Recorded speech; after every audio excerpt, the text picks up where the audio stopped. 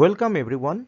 Here we are going to present a paper titled X-ray diffraction studies on crystallography and microstructure of age-hardened aluminum copper alloys with trace contents of tin authored by myself Dr. Sanjib Banerjee and Mr. Sanjeev Gogoi from Department of Mechanical Engineering Tezpur University. 2219 aluminum alloys is one of the 2000 series aluminum alloys which have extensive applications in space, aircraft, automobile and marine. Here we can see the standard chemical composition of 2219 aluminum alloys. Regarding microalloying, recent trend in alloy development is microalloying where contents would be less than 0.1 weight percent with trace elements in order to achieve higher strength combined with reasonable toughness and maintaining lower density. The reason behind microalloying is that it permits addition of trace elements although of higher density but with lower content and these trace elements even at lower concentrations may considerably influence the microstructural evolution and enhance the overall mechanical properties but without compromising the material weight. Precipitation hardening heat treatment has two separate stages that is the solution heat treatment and the precipitation heat treatment as shown in this figure and the strengthening mechanism is by the restriction to dislocation motion by the formation of finely dispersed second phase precipitates within the alloy matrix. In the present study, 2219 aluminum copper alloys was processed by standard casting technique. It contains varying contents of tin and the tin content varied from 0 to 0.1 weight percent as shown in this table.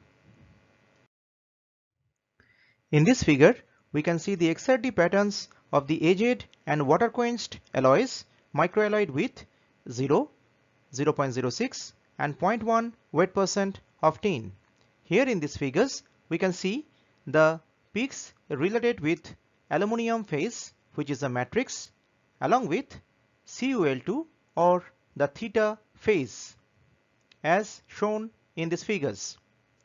The lattice parameters of both these phases may be detected from this XRD analysis. Now from the XRD analysis we can detect the crystal sizes of different phases. Here in the first figure we can get the average theta crystal size for the investigated aluminum copper alloys microalloyed with 0, 0.06 and 0.1 weight percent of tin both under solutionized and aged conditions. Whereas in the second figure it reveals the percentage increase in theta crystal size for the investigated alloys microalloyed with 0, 0.06 and 0.1 weight percent of tin resulting from this aging treatment. Now from both these figures we can get that microalloying with tin imposed an influence on the quantitative increase in theta crystal size of the investigated alloys. Alloy with 0.06 weight percent of tin exhibited highest quantitative increase in theta crystal size as revealed in this figure.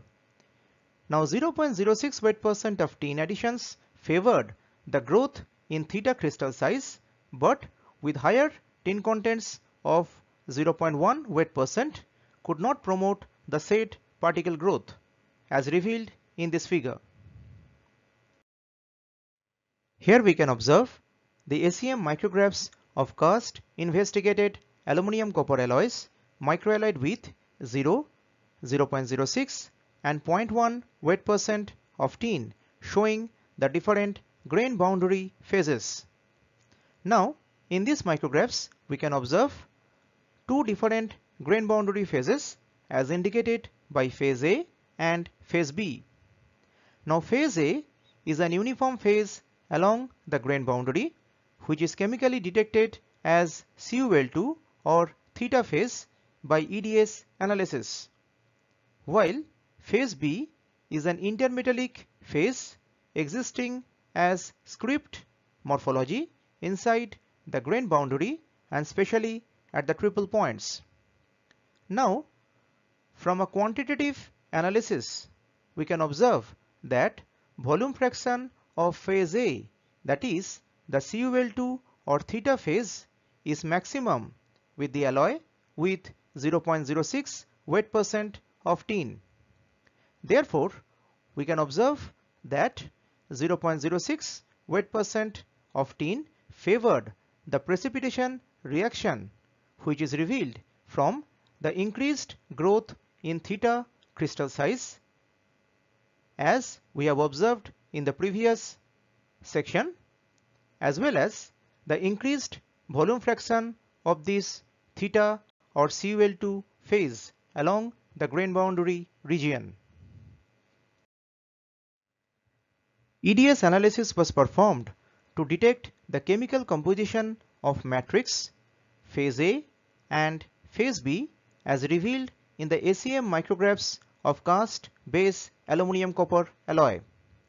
Here in the EDS spectra we can observe that the matrix contained primarily aluminum while phase A is a uniform phase along the grain boundary is basically theta or a CuAl2 phase and phase B which exists as a script-like morphology along the grain boundary and triple points is an intermetallic phase as shown in this EDS spectra. These are the few references regarding the present work.